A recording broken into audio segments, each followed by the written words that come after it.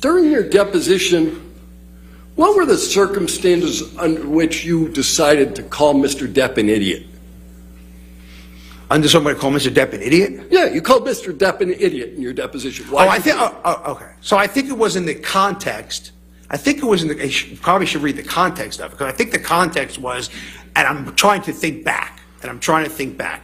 Okay, and what I thought it was related to was if you're coming to some deposition, okay, and again I'm thinking back, so I you have it in front of you, I don't.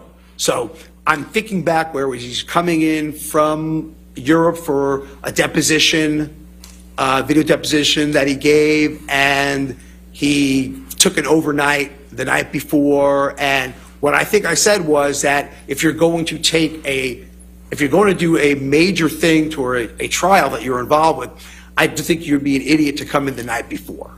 All right. So I didn't call Mr. Depp an idiot. I certainly called that planning an idiot. I didn't call him an idiot. So the words, so I mean he's an idiot, are mistranscribed?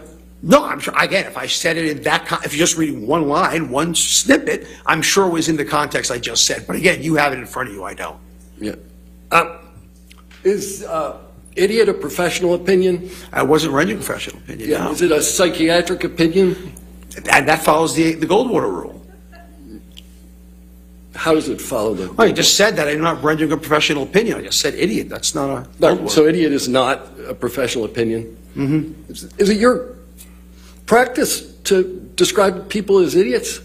In my practice, to describe people, in my practice, no, I don't describe people clinical, my clinical cases as idiots or patients as idiots or victims as idiots. No, sir. But you sat for a deposition in this case and, and described the plaintiff as an idiot, correct? Uh, you gave me nine hours of deposition, and if I said the word idiot, it was an idiot in planning. It wasn't making him an idiot. I don't know Mr. Depp's IQ. I don't know his overall functioning. So therefore, if I said it, it was an idiot in planning, which is what I meant to come across as.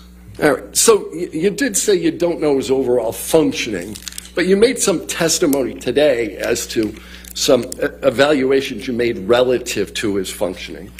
You would agree with me that it's probably a good idea to think about the questions that are asked you in a court proceeding before answering them. Am I allowed to answer that question? Yes. Okay. So what I meant by function, what I said by function, I believe that his agent reported how late he was showing up to every movie while the cast is waiting for him. I believe that would be an impairment. If I showed up late for that, I would not be here right now, would not have a job. Okay? I believe the thing was in terms of uh, balking out of treatment for substance rehab that his doctor is prescribing for him. So if you're asking me if that's an impairment of functioning, I would say I'm very much substantiated in that. I'm, I'm trying to understand how you got to this notion of cognitive decline. And I, I thought it was based, at least in part, on, on the manner in which he testified.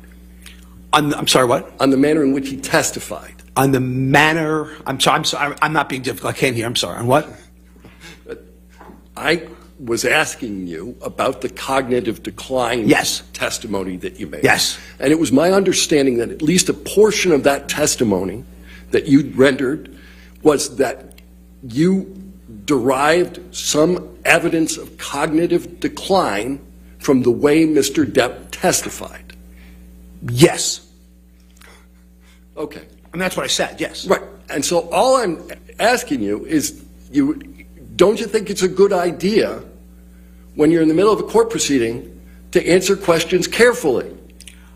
Again, professionally, we diagnose patients with a neurocog disorder by gross evaluation all the time with cognitive. On the thought that, again, age normal controls, I'm just saying, age normative controls does not put a 58 year old gentleman at that processing. That's all I'm saying. That's Right. all I said. And you derived this without ever once talking to the man. Me, me, me directly talking to him. Because I heard, because we know how I derived it. So you're talking about me directly talking to him? Yeah, you never talked. No, I never, no, I've never talked to him. Right. And th- this exam you gave, well, you did talk about Miss, uh, uh, Dr. Blaustein, right? Yes, sir. and you understand that the entirety of Dr. Blaustein's uh, medical records are 12 pages of handwritten notes. The important part was what I said. For me, as an example of cognition, which I'm trying to prove, which is what you asked me, the important part was what I said. And that was irrefutable. The important part is that he give he gave the mini mental status exam. Yes, sir. All right. That's Let's talk about the mini mental status exam. Scored on a 30 point scale, right? Yes. All right.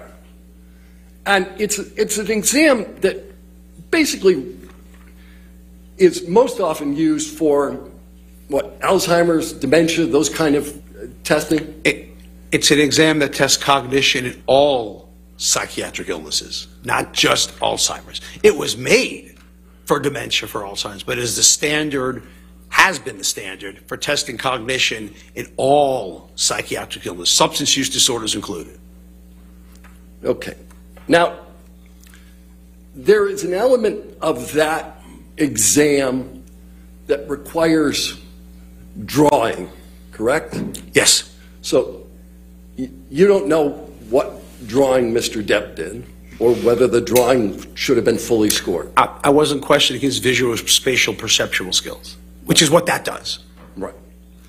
And you don't know what score Mr. Depp received on the exam. I was very specific. I know three words, not remembering at five minutes. That's all I said.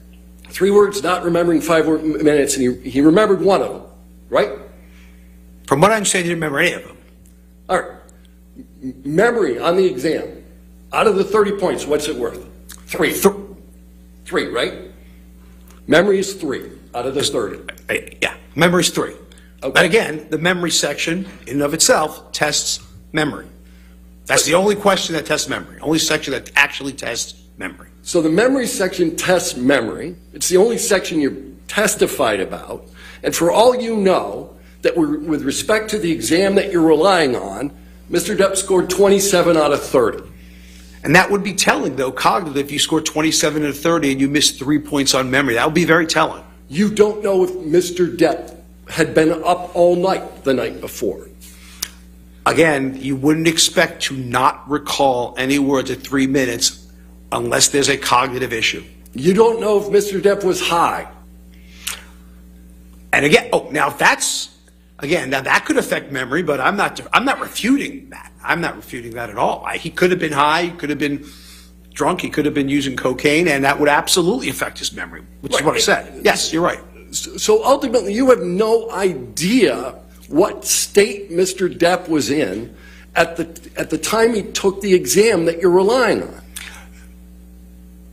Sh- uh, short of what you just said about drugs and alcohol, okay, there shouldn't be a reason why a 58 year old also with strokes and other neurocognitive conditions. But short of that, there shouldn't be a really good reason why someone at that age shouldn't come up with at least one. But but an answer, But, but but wait a minute, you, you- you, started that question with short of drugs and alcohol and spent 35 minutes talking about his use of drugs and alcohol. Isn't that right?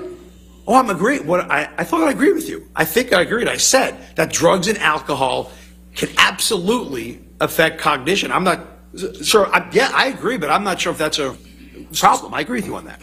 All right. So you don't know, one way or the other, how he scored on the exam. You don't know whether he was at the time on drugs and alcohol, but you're going to rely on it in your testimony to say that he's cognitively impaired. Which is what we do in clinical medicine, sir.